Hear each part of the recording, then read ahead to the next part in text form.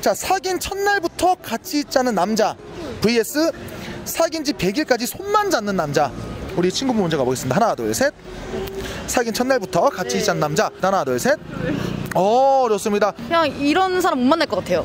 답답한 남자를 못 만날 것 같아요. 아, 제가 진짜로? 워낙 개방적이기도 한데 네. 이런 남자 만나면 답답해가지고 헤어질 것 같은데 못 만날 것 같은데.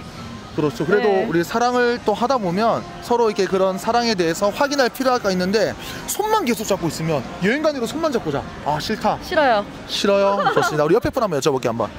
저도 똑같은. 아 똑같은 의미에서 우리 두 분이 생각하는 썸 탈 때 스킨십 여기까지 가능하다. 궁합 맞춰보는 게 맞지 음. 않을까요? 저는 음. 그래. 어, 서로 그렇죠. 거니까 충분히 궁합까지 맞춰볼 할수수 있다. 있다. 네. 전손 잡는 것까지. 사귄다고 하는 순간 모든 걸 열어주겠다. 하나, 어, 결과 한번 여쭤보겠습니다. 다시 한번 더. 하나, 둘, 셋. 2번. 사귄 지 100일까지 손만 잡는 남자. 그러면 첫날부터 같이 있자는 남자가 싫은 이유 한번 여쭤보겠습니다. 너무 노골적이에요.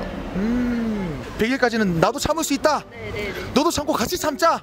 그렇죠. 그게 좀 더 낫다는 말씀을. 굉장히 좀 빠른 남자 vs 너무 좀 조심스러운 남자. 아 첫날부터 같이 있자는 남자. 어 그러면 사귄 지 100일까지 손만 잡는 남자는 좀 별로다라는 뜻이잖아요. 답답한 거 싫어서. 아 답답한 걸 싫어해서. 어 그래서 어, 본인 지금 현재 남자친구는 첫날에 같이 있으셨나요 혹시? 네. 어, 오, 솔직하죠. 이건 정말 솔직한 거니까 맞잖아요. 그렇죠, 좋습니다. 남자친구 만나신 지 얼마나? 1년 반 넘었어요. 아, 그러면 뭐 1년 반이시면 이제 뭐 굉장히 또 약간 안정권으로 결혼도 좀 생각하시는 아니, 아니. 남자친구분께서 이 영상을 꼭 안 보시게 제가 진심으로 기원하겠습니다. 감사합니다. 누구를 고르실까요? 1번.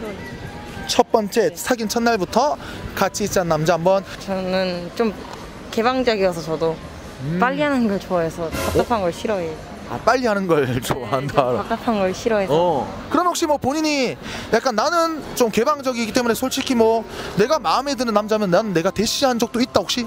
네, 오 본인이 마음에 들면 바로 대시를 하시는 네. 어, 혹시 본인이 그러면 마음에 든다면 좀 이런 스타일 좀 선호합니다 어떤 스타일? 저는 싸가지 없게 생긴 사람 좋아해요. 싸나운 사람. 눈이 찢어져야 돼요 일단. 아 진짜로 눈저 찢어진 이런 느낌이신가요? 아, 저- 사귄 첫날부터 같이 있자는 남자 vs 사귄 지 100일까지 손만 잡는 남자 어렵다. 어렵긴 하죠 그래도 어 좋습니다 사귄 첫날부터 같이 있자는 남자 너무 좀 싫다는 느낌인가요 혹시? 쉽지 않을까요, 마음이?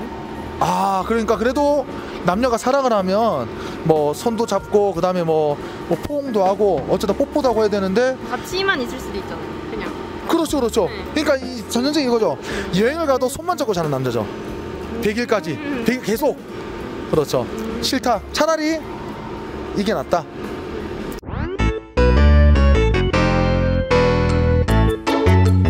혹시 실례지만 혹시 직업이 모델? 아니요 회사 다녀요.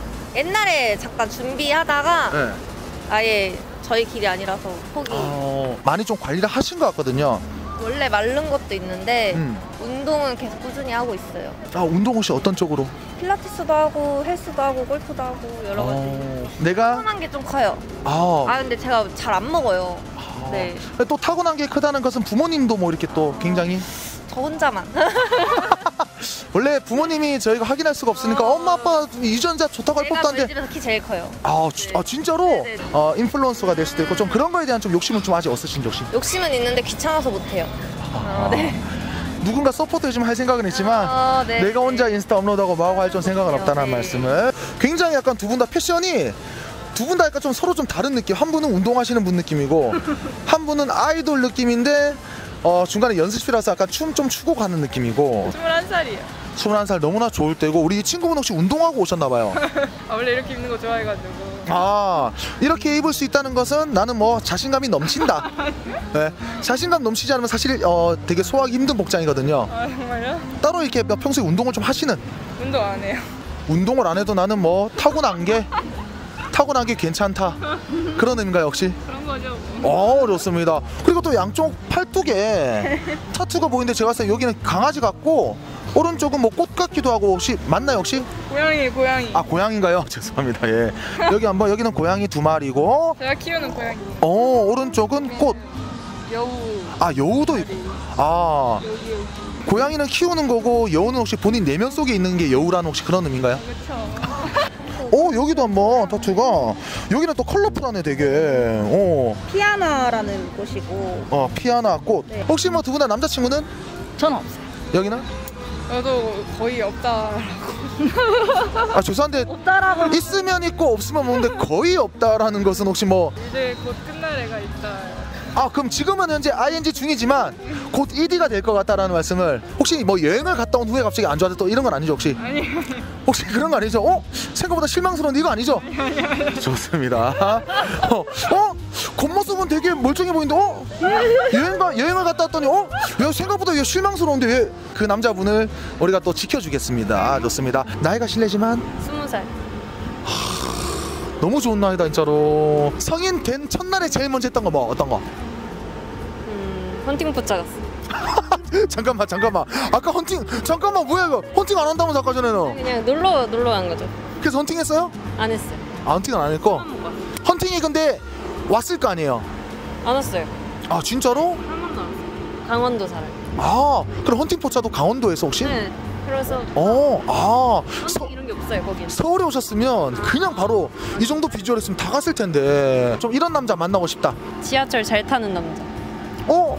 정말 어떤 의미가 지하철 잘 탄다 네, 제가 좀 지하철을 못 타가지고 아, 아 이제 올라오셔가지고 잘 못하시는구나. 어. 아까 굉장히 뭔가 다급하게 좀 뛰어오신 것 같았어요. 아 네 맞아요. 혹시 어디 가신지 한번 여쭤봐도? 곱창집 갑니다.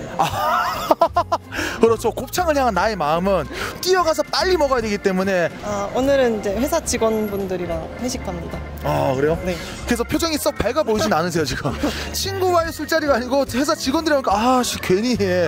어 실례지만 나이를 한번 여쭤봐도 23입니다. 어찌 보면 되게 좀 직장생활 좀 빨리 하신 편이시네요 네, 맞습니다. 어, 혹시 뭐 어떤 쪽인지 한번 여쭤봐도 저 손해보험 쪽에서. 아 보험 쪽으로 어 또 보험 하시는 분들이 또 곱창 좋아하시거든요 술 좋아하시고 맞잖아요 굉장히 약간 좀 동네 패션 같지만 뭔가 갖출 건 다 갖추고 있는 가방 루이비통 팔찌 팔찌 어, 어디 건가요 혹시? 티바스크 어 반지도 있으시고 어, 굉장히 약간 딱 봤을 때는 어 굉장히 뭔가 경제적으로 좀 여유가 있어 보이는 그런 느낌. 어 실례지 혹시 나이라면 여쭤봐도? 스물하나. 21살. 아니 근데 약간 21살이신데 혹시 뭐 지금 현재 뭐 좀 경제 활동을 하고 계시는? 네. 직업이 뭔지 한번 여쭤봐도 괜찮을까요? 분양 사무실에서 일하고 있어요. 분양 사무실에서? 혹시 그러면 천은 넘나요? 이 정도만 혹시? 제일 많이 벌었던 게 예. 그래요. 아 천은 제일 많이 벌었던 날은 천은 좀 넘게 벌었다는 말씀을 학교 다니는 것보다는 돈 버는 게 좋은 것 같아서